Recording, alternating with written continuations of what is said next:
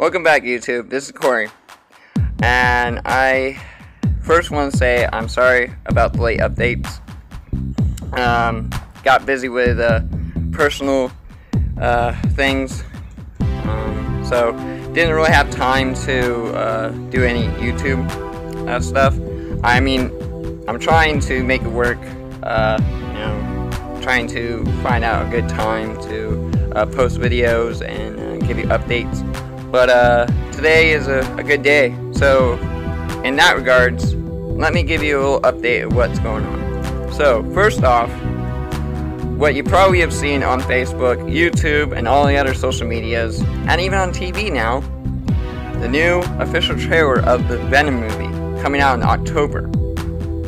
Now, we all were waiting for this since the first time we were initially introduced to Venom in Spider-Man 3 with Tobey Maguire and Topher Grace, we wanted a Venom movie. We wanted an origin movie. We wanted Venom to be badass, just like the comics, and on the big screen. And today, we officially have just seen what Marvel and what uh, Sony Pictures has just came up with. They are giving us the Venom that we all wanted and were eager to receive. Um, first, I'd like to tell you, watching the watching the first trailer, I was a little skeptic. I thought, all right, it's gonna be, you're not gonna see a lot of the symbiote. You're not gonna have a lot of origin on the symbiote uh, alien life form. But after seeing the this new trailer coming out, you get a little bit more in, um, in depth on how the symbiote is an alien life form and how it attaches to people, um, especially when people are dealing with uh, depression and different uh, mental issues. The symbiote latches onto that and feeds off of that. It's a, uh, it's it's not good, but that's what this alien life form does. During that trailer, what we did see was how it controls the wearer, the it controls its its uh, host by manipulating the mind, manipulating the thought process of rational, what is right, what is wrong. You know, what what good morals do you have? Uh, the symbiote takes control of the host and abuses it and breaks it down so it's compliant. Big names that are in this movie. Number one, Tom Hardy. If you do not know who Tom Hardy is, I recommend you check out some of his other films he has done. He has was he was in um, sorry Mad Max remake. He was also in Batman um, Dark Knight Rises. He played Bane. Yes, Bane, Mr. Wayne. He played Bane. He was in Dunkirk. He was one of the fighter pilots. And he also was in another movie. I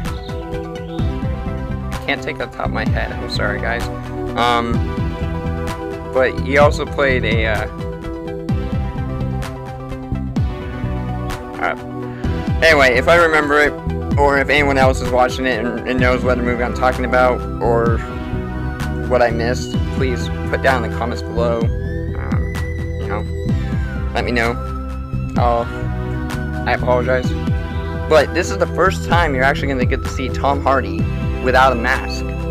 What I mean by that is in all his roles he has done, he has worn a mask.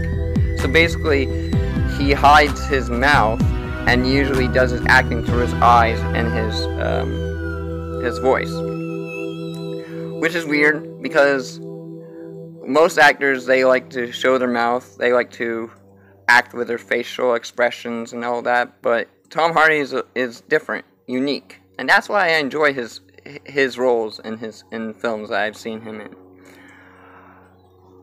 Yes, it is. This is a comic book. Yes, my friend from Volks Comics and More, Alex, will definitely give you more in-depth as as it approaches um, on on things that I must have miscovered or did not cover in this video. Uh, this will be a two-part video. This is the first part. Sorry. Um. Well, let me get back to track. It's taking place in San Francisco. I'm not sure of the time, uh, the, the, the time era. It seems like modern society right now, maybe 2019, 2020. I mean, it's not off the too futuristic, but it's still set in modern times. So we're gonna get we're gonna get that that feel like oh, it could happen to any of us, you know, in this present day um, life that we are so graciously living right now. In the comics, I believe that Venom was a anti-villain. Um, correct me if I'm wrong, but I believe he was an anti-villain villain to uh, Peter Parker, who played Spider-Man. Peter Parker tried to save Eddie Brock um, multiple times after he after he was possessed by the symbiote and gave you the black suit Spider-Man. This is going off of Spider-Man 3. Um, this is the only reference that I have to fall back on right now because that's the only time I've seen Venom um, being done in the big screen.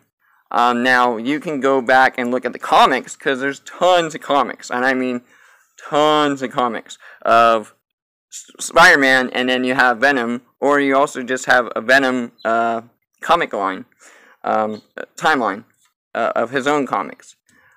Um, that that's pretty cool. What I hope to see in this in in this movie coming out in October, I really hope that we get to see the other side of the symbiotes. Um, I hope that we get to be introduced to my favorite uh, supervillain in the in the Spider-Man franchise is Carnage. Uh, I just like the red and the black. I mean, yeah, a lot of people like black and the uh, black and the white, but I just always loved Carnage.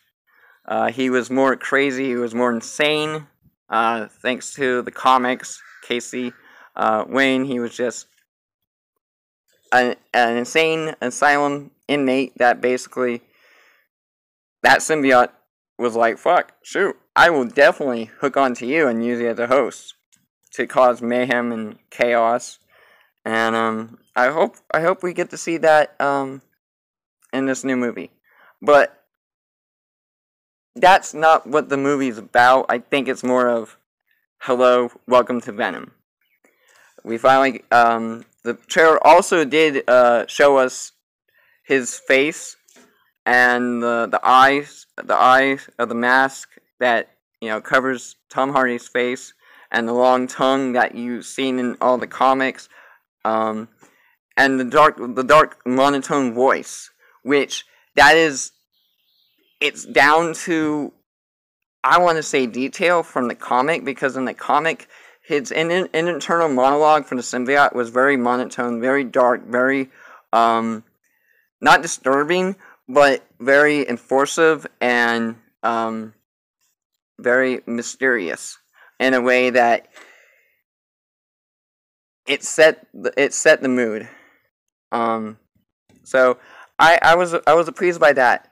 Um, are we gonna get are we gonna get a little sneak peek of you know Spider Man uh, by Tom Hollands or Andrew Garfield or um, any other other uh, actors that portrayed Spider Man? I'm not sure, but that would probably be like a cutscene because knowing Marvel, they always leave you an Easter egg uh, end scene. So I would recommend you when you see this movie, stay for the credits. Stay for the end credits. Watch them. Chit chat with your wife, your girlfriend, your boyfriend, yourself, that random guy who has like this fanny pack with a whole bunch of snacks. Talk and wait until the end of the video, the movie, and hopefully you might get to see that. But um, as for this part of this video, I'm gonna I'm gonna leave it here. I will be back for my second part of my video review of Venom and give you a little more in depth and um, a little bit more uh, fun facts. And so, with that said, thank you very much for watching. And as always, have a wonderful day. I'm Corey. Sign out.